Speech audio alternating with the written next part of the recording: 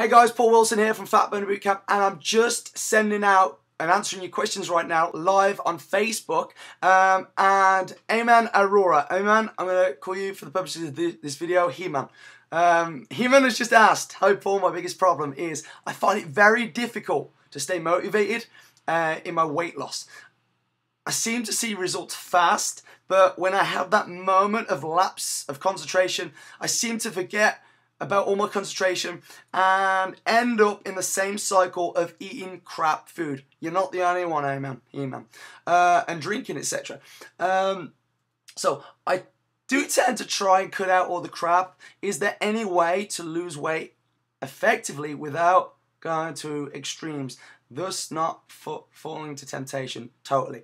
Uh, amen? No. You know what? Because as I always say, that weight loss is a battle and depending on how out of shape you are is going to determine the amount of um, the the bigger battle you've got on your hands okay? So wherever you are right now with your weight loss you've got to um, you know that that's going to determine how much effort how much focus you're going to have to put in.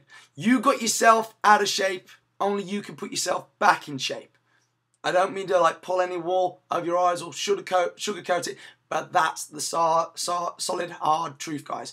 Um, so, uh, and here's what I would do. Here's what I would do. Firstly, I'd change my name to He-Man and uh, and believe that I've got the power.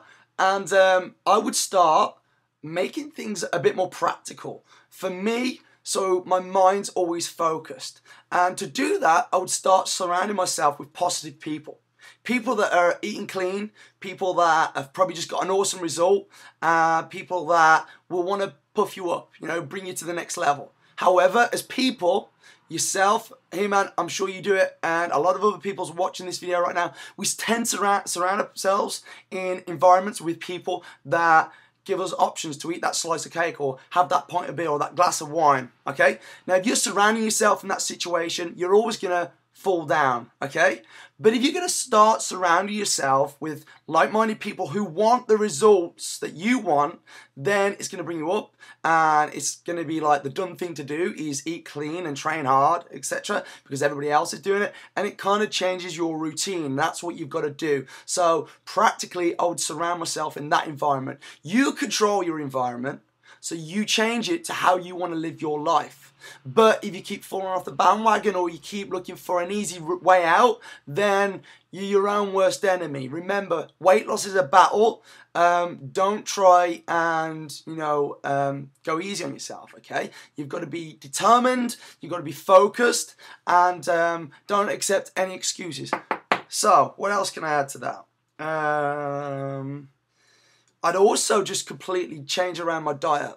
So if I'm eating crap, I would, well, you know, look on the fatburnerbootcamp.com forward slash blog. There's a few recipes up on there. And start trying those recipes and make cooking fun and exciting so it kind of becomes your new habit, your new, your new, um, your new routine sort of thing.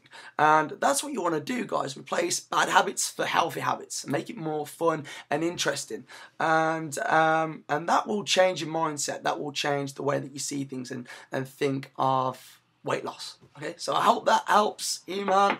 Um, and also with exercise, with exercise, just make sure you're putting in, you know, you, you, a lot of effort in, in, into those workouts, into those sessions, and at the same time you're getting the recovery in as well.